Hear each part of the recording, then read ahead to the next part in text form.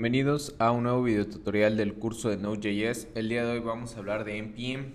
NPM es el manejador de paquetes de Node y lo que nos permite hacer es instalar o, y administrar las librerías, más, bueno, más bien los paquetes que nuestra aplicación utiliza. Estos paquetes pueden verse como librerías que nosotros estamos utilizando para... Eh, nuestro, para nuestra aplicación, ¿ok? Para, para facilitarnos cosas, para reciclar cosas que ya están hechas por otras personas, etcétera.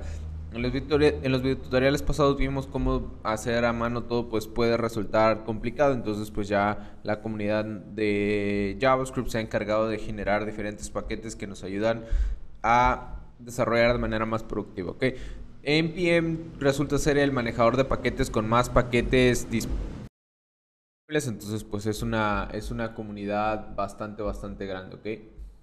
Ok, entonces si tú tienes instalado Node, es probable que ya, es casi seguro que ya tengas instalado NPM. ¿Cómo validamos que tenemos NPM instalado? Bueno, NPM y esta opción guion B que nos devuelve la versión que tenemos de NPM.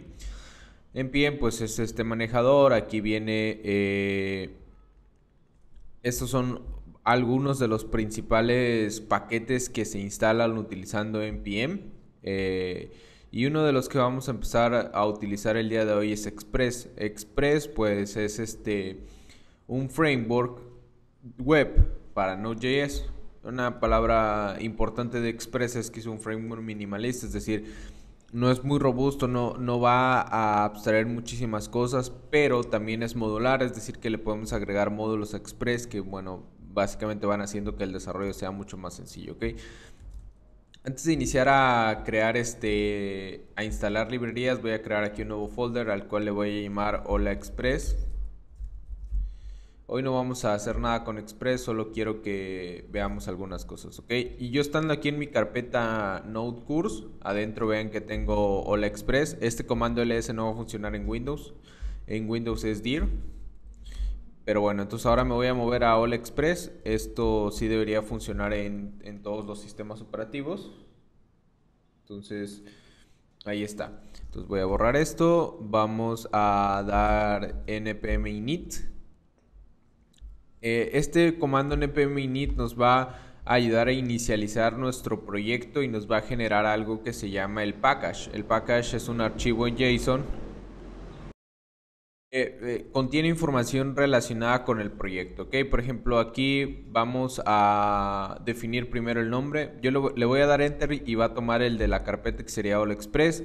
Después viene la versión en la que está tu proyecto. Entonces, si le dan Enter, coloca la versión 1.1.0, pero digamos que, por ejemplo, quieren tener la .1.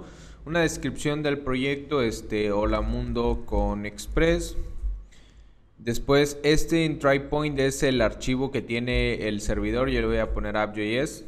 Eh, el test command, git repository lo vamos a dejar eh, limpios. En keywords uno puede poner este, palabras relacionadas con el proyecto que puedan permitir descubrirlo en un repositorio o si lo vamos a subir a npm. Le voy a dar no, autor voy a darle código facilito. Esto está bien. Y después me va a preguntar, ¿esto está bien? O sea, este es el package JSON que me va a generar. Y pues le voy a decir yes. Ok, entonces voy a eliminar esto. Voy a venir aquí a AliExpress y voy a encontrar aquí el package JSON. Ok, entonces... Este, bueno, este archivo, entre otras cosas, lo que va a, a a tener es este, las dependencias. ¿ok? Eh, aquí solo vemos información del proyecto, pero bueno, vamos a intentar hacer algo. Vamos a intentar instalar Express y voy a agregarle este comando save al final. ¿ok? Entonces esto va a cargar, va a instalar.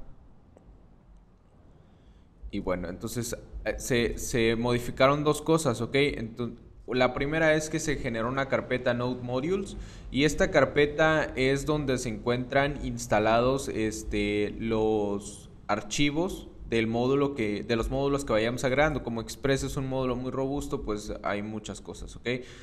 Y luego por acá en el package JSON tenemos el, en la sección de dependencias que se agregó nuestro, nuestro Express.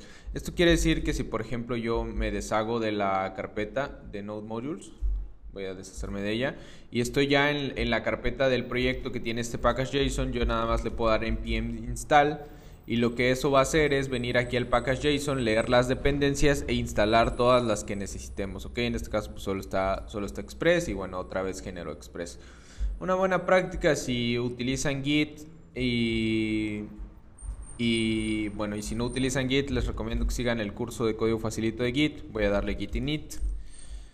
Entonces aquí ya inicializamos un, este, un repositorio vacío. Git todo, git commit. Eh, una, una, buena práctica es que aquí agreguemos en el, en el git ignore, que recuerden que es este... Que recuerden que es este un archivo que nos permite decirle a Git